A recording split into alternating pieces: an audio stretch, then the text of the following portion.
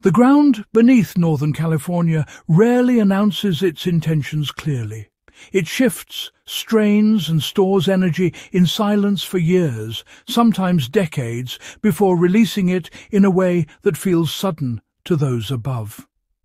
On January 13th, 2026, that quiet tension made itself known near the town of Willits.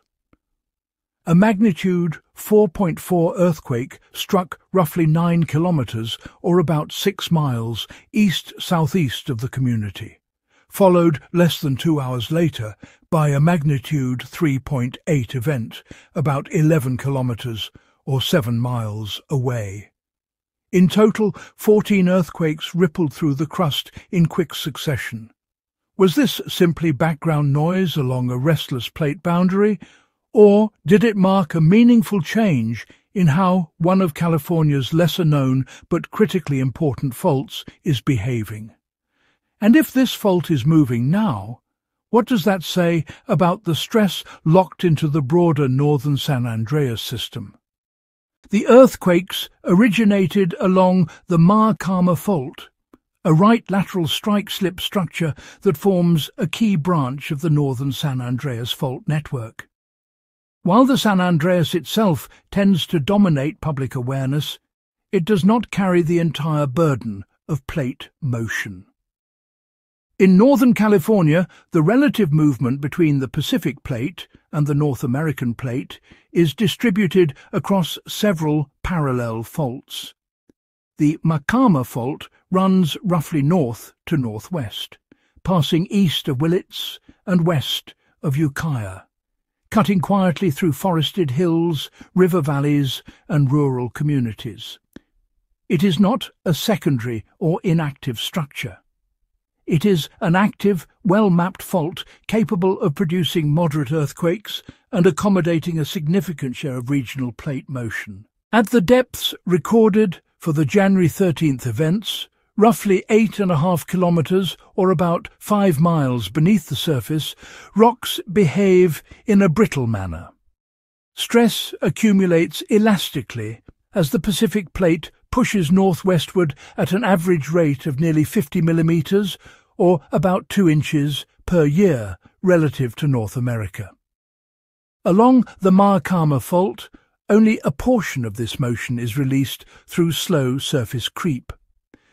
Measurements in and around Willits show the ground shifting laterally by several millimetres per year, enough over decades to visibly offset curbs, sidewalks and fence lines. Yet this creep does not fully accommodate the tectonic load. The remaining strain accumulates at depth, where fault surfaces can lock together until friction is overcome. The magnitude 4.4 earthquake represented a sudden release of that stored elastic energy along a relatively small patch of the fault. In physical terms, the fault slipped horizontally by perhaps only a few centimetres, no more than a few inches. That small displacement, occurring rapidly, sent seismic waves upward and outward, producing shaking felt across the Willits area. The subsequent magnitude 3.8 earthquake and the smaller events that followed were not separate failures, but adjustments within the surrounding stressed rock. Each aftershock marked a redistribution of stress as the crust attempted to settle into a new equilibrium. The clustering of 14 earthquakes is consistent with how strike-slip faults behave when a locked segment partially fails. Rather than a single clean rupture, the fault often breaks in a patchwork fashion. One area slips, transferring stress to adjacent sections, which then respond with smaller events. This is especially common on faults that alternate between creeping and locked behaviour, as the Maacama does. In such systems, creeping sections can load stress onto locked patches, increasing the likelihood of episodic earthquakes. The Maacama fault does not exist in isolation.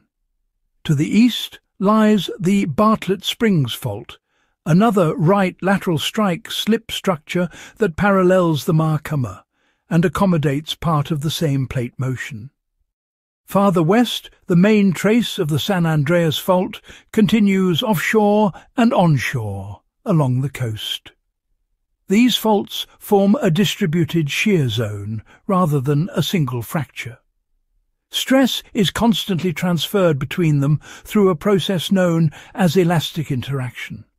When one fault slips, even slightly, it can increase or decrease stress on neighbouring faults by small amounts.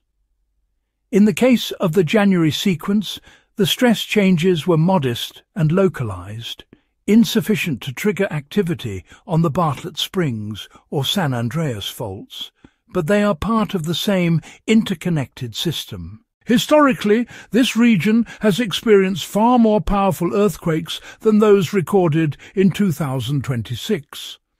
On April 15, 1898, a magnitude 6.7 earthquake struck south of Mendocino, producing strong shaking across northern California.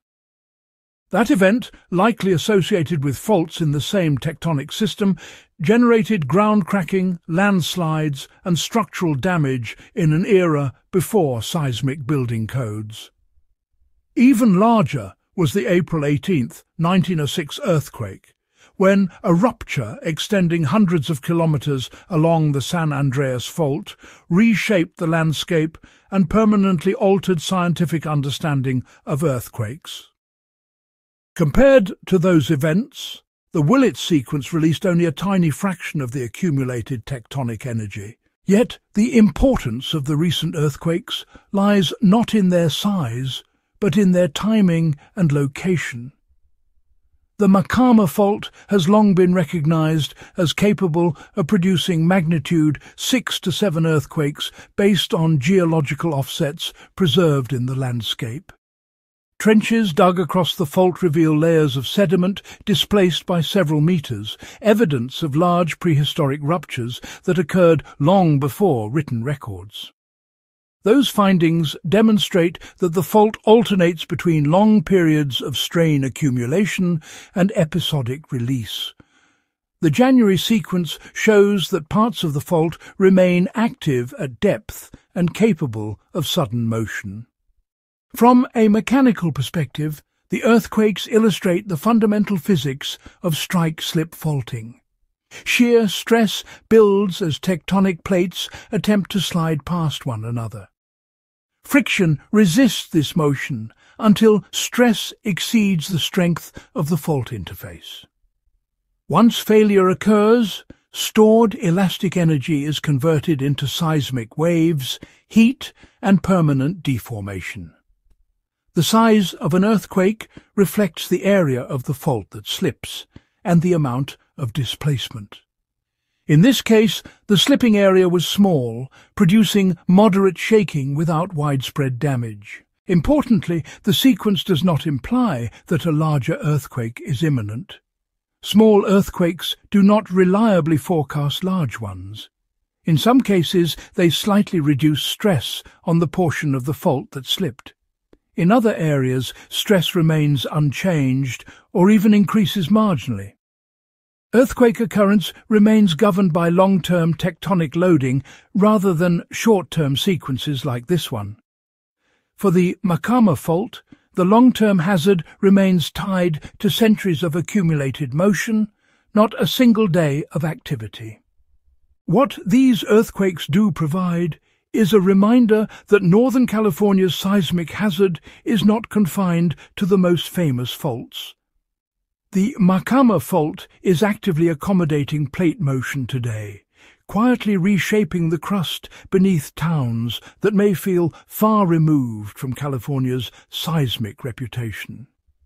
Each small rupture refines scientific models, improves hazard assessments, and deepens understanding of how complex fault networks share the work of plate tectonics. In the end, the January 13th sequence was not a warning shot, but a data-rich glimpse into an ongoing process.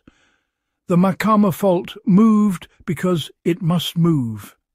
The Pacific plate continues its steady push, the crust continues to strain, and energy continues to accumulate and release in increments both small and large. For scientists and observers alike, the message is neither alarmist nor dismissive. It is simply this. The Earth beneath Northern California is active, interconnected, and always in motion, even when its movements are measured in centimetres rather than metres. If this analysis helped clarify how active fault systems behave, please like the video, share it with others interested in Earth science, subscribe for continued evidence-based coverage, and tap the hype icon. These actions increase visibility and allow scientifically accurate content to reach a wider audience.